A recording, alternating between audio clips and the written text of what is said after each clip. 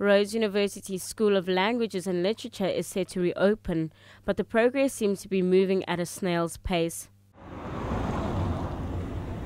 The School of Languages and Literature is now moving into an independent space. It has been sharing space with the Department of Statistics and Historical Studies. Conversation around the move involving higher education ministers and former Rhodes University Vice Chancellor Dr. Saleem Badat started in 2011. These conversations stress African languages being more of a priority in our current setting. Head of Department Patrice Mwepu talks us through the beginning stages of development. Our management was uh, in contact with our government for a long time ago.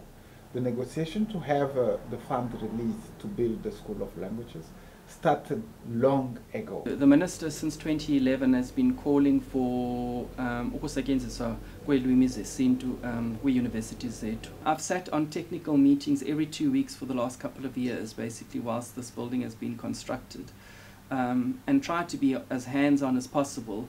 But you know, there's always going to be teething problems when you when you move into a new building. But it would be a nice idea to to have an opening. The small and confined space used to be shared by six language departments. The move into a new building has been a traumatic yet a positive process for some. Lecturers at the department voice how the move affects their teaching routines and their personal experiences about moving into a new office space. C'était en fait euh, très difficile. Euh, il y avait euh, It was very difficult. There were lots of problems, euh, but here we are. 嗯我很兴奋很开心。I'm very um, happy and excited because I'll have my own new office and we will also have two seminar rooms. Es war sehr anstrengend, äh, alles auszuräumen und zu sortieren.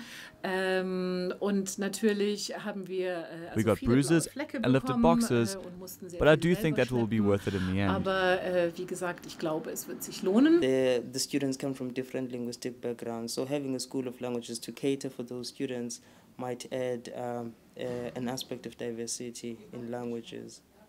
The School of Languages is now operating, and next week, students are expected to start attending lectures in the department. The new building will be beneficial for lecturers and students at Rhodes University. The final stages of construction continues, but the official reopening remains a mystery. I am Collette Prince, RUTV, Grahamstown.